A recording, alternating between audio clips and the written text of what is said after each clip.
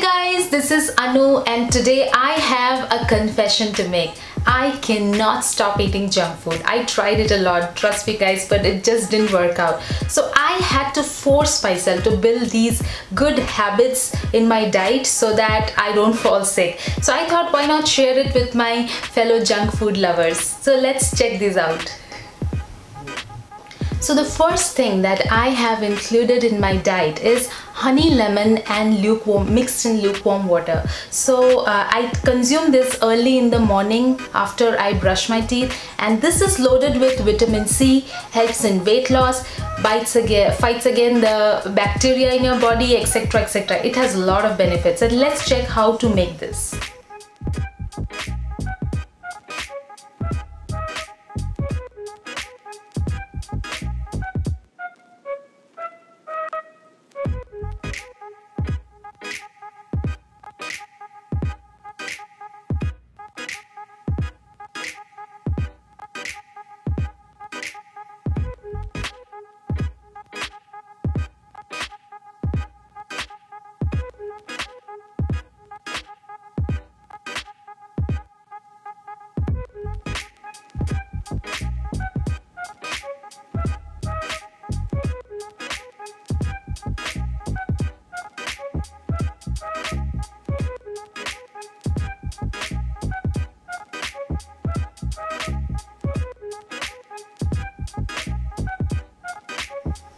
So the second healthy habit that I have included in my daily diet, uh, I have started consuming dry fruits and I soak them in the water in the night and I eat them in the morning. The first thing in the morning even before breakfast and these are the dry fruits that I eat every day.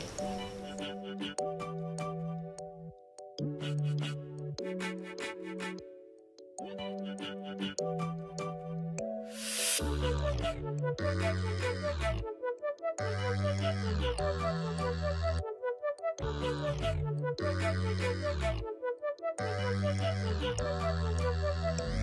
you.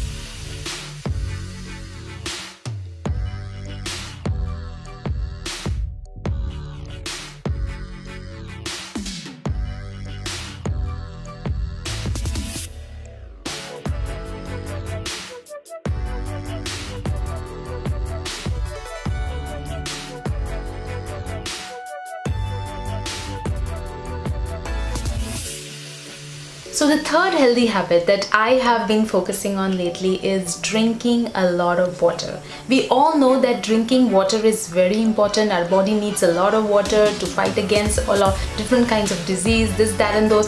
But drinking them in the right time is more important. It's something that we need to focus on. Like two glasses of water after waking up activates your internal organ and one glass of water 30 minutes before your meal helps in digestion. One glass of water before taking bath helps lower blood pressure level. And one glass of water before going to bed uh, helps avoid heart stroke and heart attack. So these are some of the benefits that uh, we need to focus on when we drink water. The fourth healthy habit that I have been focusing on lately is decreasing sugar intake. Now it is not very easy to cut down on sugar completely. So you can make this a slow process like cutting down on beverages, replacing them with juices. You can also take juices without sugar. So you just need to focus on all those food items that you're consuming every day if they have sugar or not and how you can cut them down.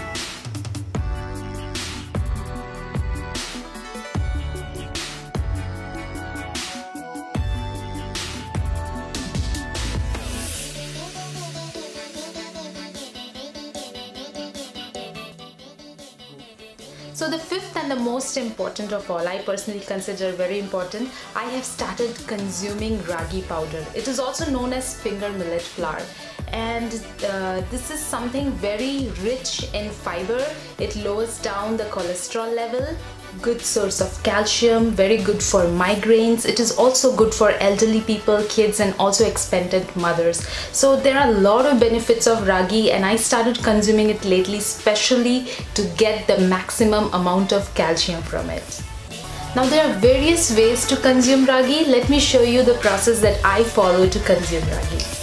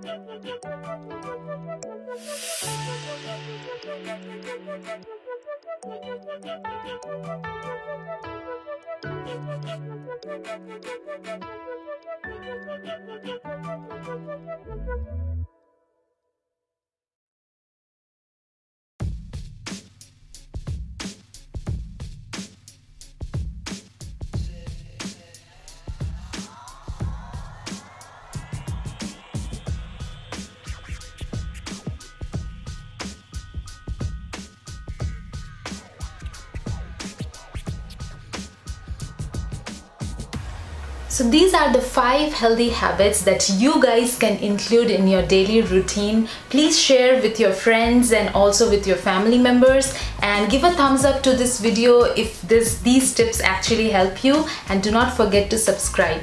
Bye bye.